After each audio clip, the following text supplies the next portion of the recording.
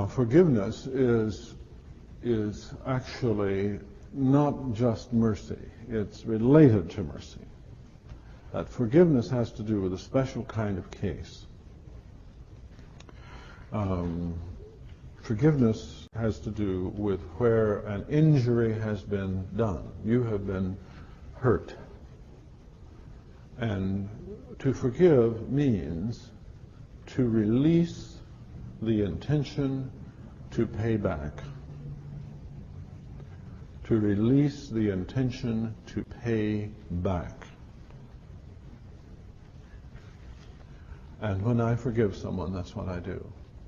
Now, we need to go over it slowly. I don't stop hurting. I may, there might be a miracle, I might do it immediately, it may be in time I would do that, but I will not stop hurting. Pretty certainly I will not stop hurting immediately. Uh, I need help with that. Um, but uh, so often when you are involved in situations where forgiveness uh, is appropriate, uh, you see people wanting the person to stop hurting because it makes them feel guilty. And they would like not to feel guilty any longer because it's very painful. And so they want this person that they've injured to stop hurting. Don't try to stop hurting. When you forgive, if you try to stop hurting, it will confuse you so much that you will not be able to forgive. You can decide not to pay back. You can decide that. And with God's help, you can carry through with it. Let me make two more points and try to remember, and I'll come right back to you. Forgiveness uh, does not mean to forget. And people who say to forgive is to forget are just trying to manipulate you. They'd like you to forget. Uh, it would be easier on them because you see they're having to come to terms with what they have done. And you can almost say that they need not to forget. They need not to forget.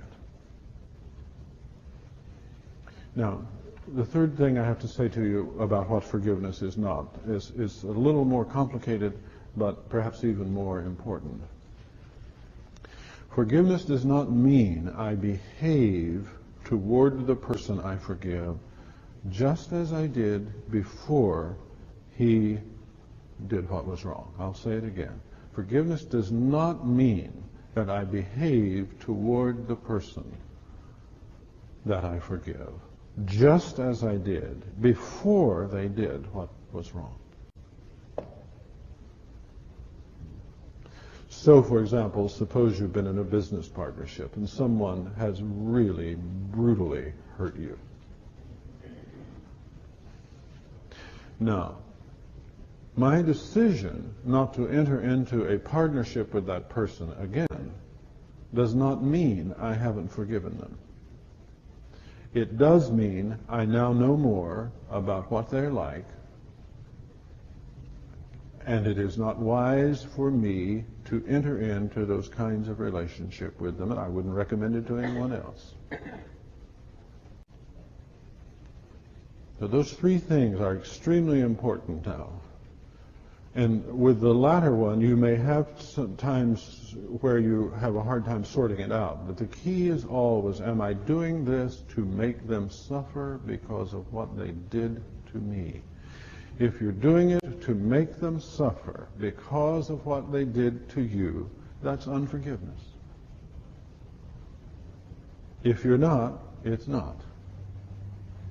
Now, I hope I haven't talked you out of your comment. Yes. Right.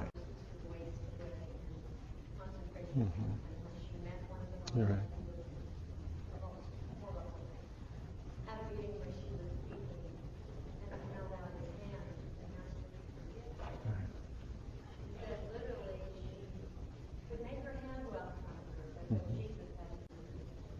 That's right. No, that's exactly right. Uh, as is so often the case now, when we uh, are living in the kingdom of God, we have to enter the act knowing we can't do it. And it's in the act that we know the power of God to accomplish it, which is what that beautifully illustrates. And I've uh, heard that story and thought about it often, and I, I just understand so, I mean, how could she even extend her hand? Uh, but that's what you do. You do what you can to bring to pass the power of God flowing through you. And it is a miracle. But that's the kind of life we're supposed to be leading anyway.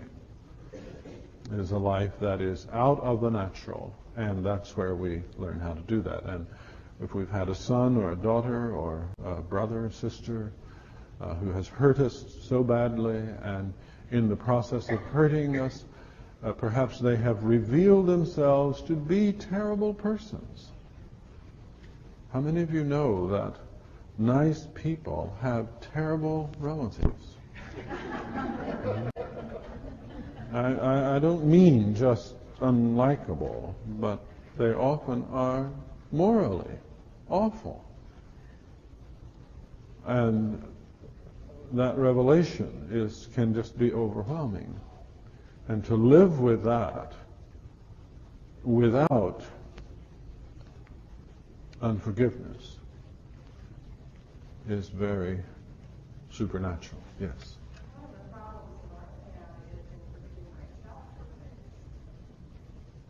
Well, uh, let me run you through a few steps with that, okay? Because I suspect for many people that, in fact, they are, uh, they need to clear up a number of issues. For example, many people think that they haven't forgiven themselves for something if they re- still regret it. Regretting something is not the same thing as unforgiveness. I, I when I think of my past uh, sins, I regret them terribly. I feel ashamed of them. I say at one breath, how could you have done that? And the next breath I say, I know all too well how you could have done that. Because I know who you are. Right? Now, remember that to not forgive yourself is a matter of inflicting punishment on yourself for what you have done in the past.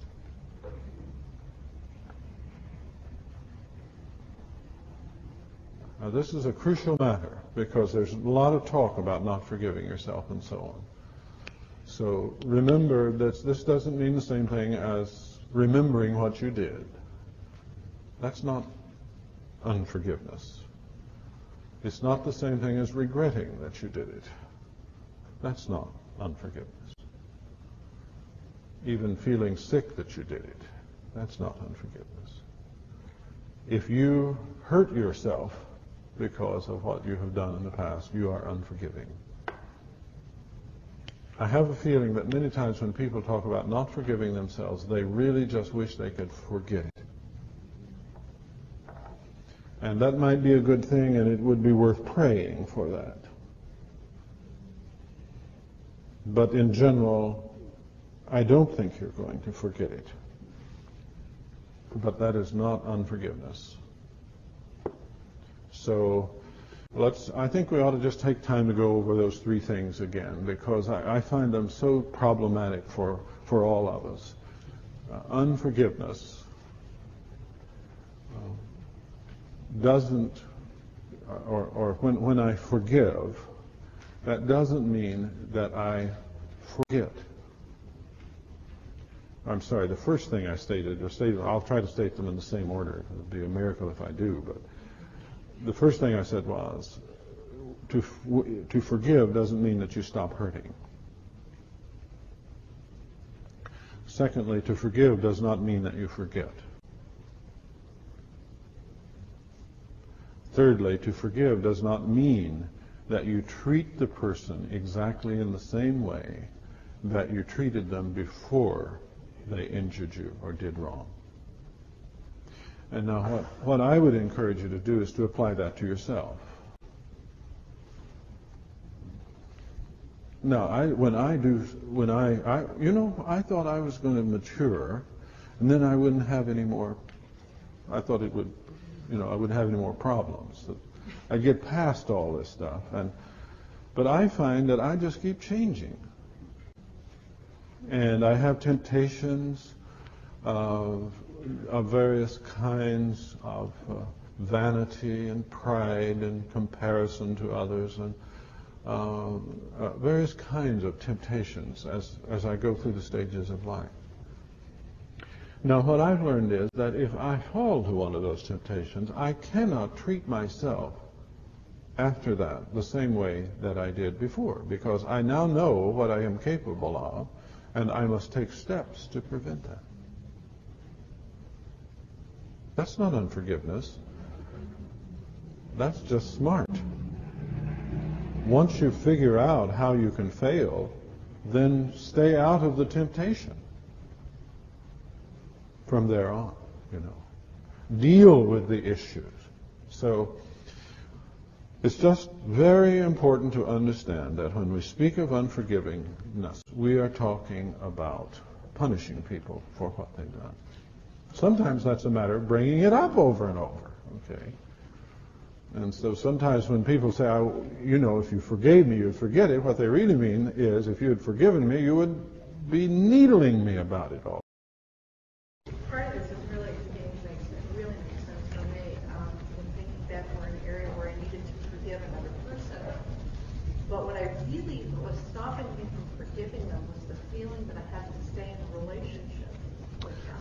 That's right, you don't. And when In fact, it may be the. you don't have to do that. That's right. You just have to say the words of mm-hmm. forgiveness and, ex- and feel those words. Right. You do not have to stay in that relationship. Right, and, and ask God to be with you and help you carry through with them and all of that. But see, that comes under the heading of you. That doesn't mean you're going to treat them as you did before they wronged you.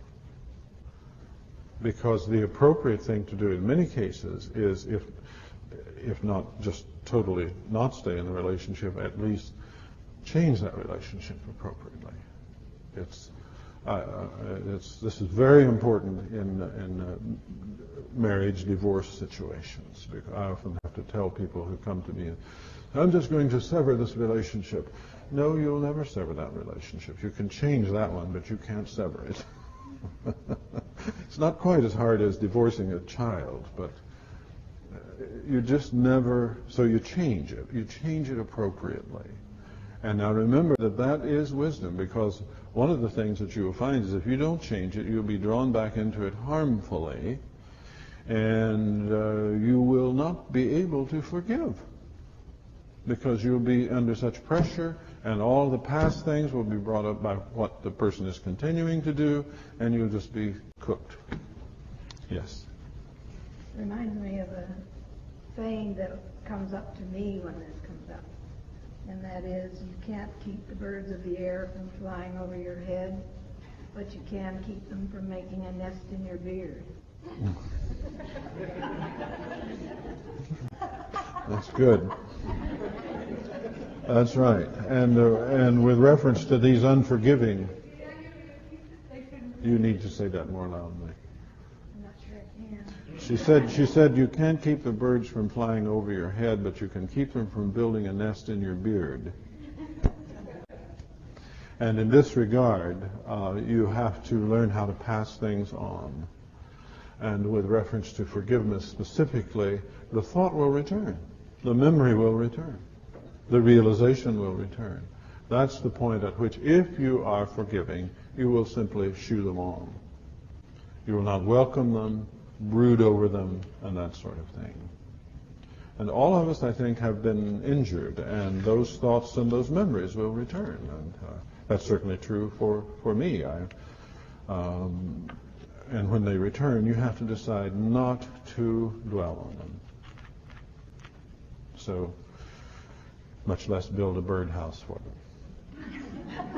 Was there someone else uh, I overlooked? Yes. It's a childhood question. Hmm. Uh, in our family, as little children, we would get into fights or something, and the instructions from the grown-ups were, now you ask for forgiveness and say Mhm. you're sorry, and then you're supposed to hug and things okay. Um, it was never retaught that forgiveness wasn't that whole action Yeah. that you go on. So what you're saying today is new information, but for Good. me, it's 50 years late. A little late. No, no. Let, but let's, let's, let's make use of this. You seem to have held up pretty well in spite of it. But, but you would have been better off if you'd hadn't. But now let's use it to, to, to make a little teaching here. See, what happens is parents want a behavioral outcome. And they force this. And they turn it into a legalism. Mhm. Which means that you, you can go through the routine and not forgive. Of course, you could also forgive and not go through the routine. Right? So we have to think that through. Uh, our problem is that in social groups, families, churches, schools, communities, we do need a certain level of behavior. And so those in authority are apt to press that button, but that doesn't help us on the inside. And so we don't understand what forgiveness really amounts to and how to be forgiving and merciful. And it, uh, it leads to a lot of hypocrisy, pretense. Mhm. Sure. trying to train young children when they beat up their brother. Right. What do you, uh, what kind of response do you encourage from them? And because we can't make them feel Right. sorry or remorseful for something. Right. What would you say? You have to, uh, uh, what you say is so important, uh, and you have to make sure you don't try to make them feel something, because that will force them into hiding. And they will learn how to pretend. And they will continue to boil on the inside. So you would teach them particular strategies about behavior. Like, for example, you might, uh, after, you, you have to give time to the child, yourself. You have to be kind of a buffer. Uh, there used to be a commercial where it showed the, some sort of antacid going into the stomach and gobbling up acid droplets. And uh, that's what we are, really, in our world. We, we sort of go around and gobble up these acid droplets because they won't hurt us. And so that means for children we have to give them time. But then we have to teach them. We have to teach them how to respond. We teach them the futility of getting involved in punishing behaviors and how much good surprise, surprising kindnesses will do.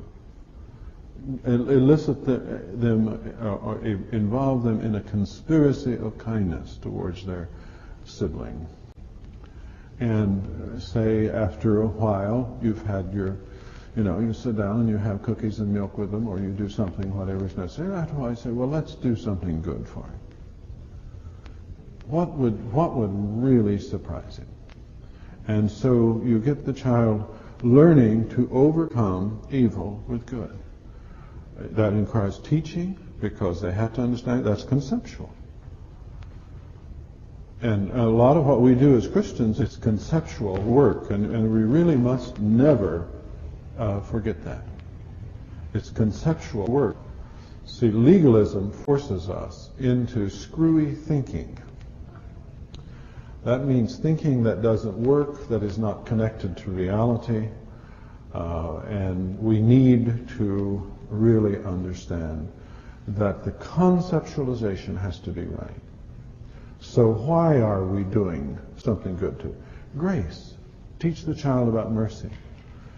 Let them know how often they've received mercy. Let them learn to enjoy mercy. And that's, that's how we would work there. Kind of like teaching them the, the joy that comes from blessing. another. Absolutely right. Because I do think that God gives us that. There is a great Indeed.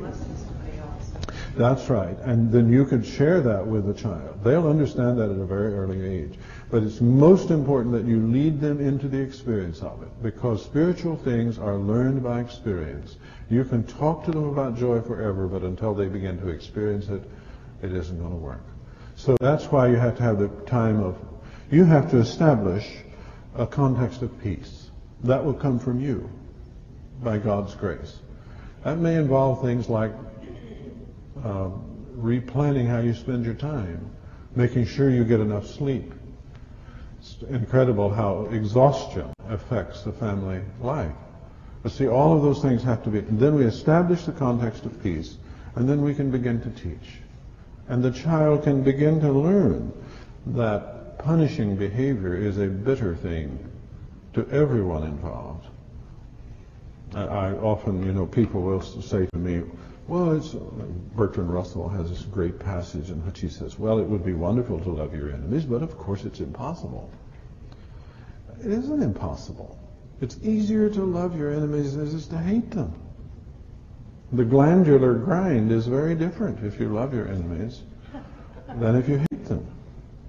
It's a very different experience. So we have to teach people how to move into that. It is much better, much easier to love your enemies. You have to know where to get the love, but it's much easier to love your enemies than it is to hate them. Let's take a little break because I think my machine here is going down or something. So